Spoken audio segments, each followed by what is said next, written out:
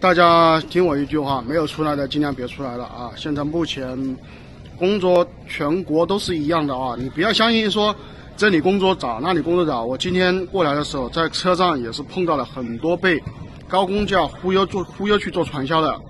然后呢，现在目前是疫情放开，很多人都出来了。之前为什么好找工作呢？因为疫情。所以很多人都出不来，所以就大家都没有出来。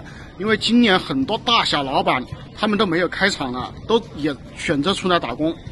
而且，呃，以往的服装厂是最缺人的，今年的服装厂都不缺人了。不管今年大大小小的服装厂，人都是人满为患。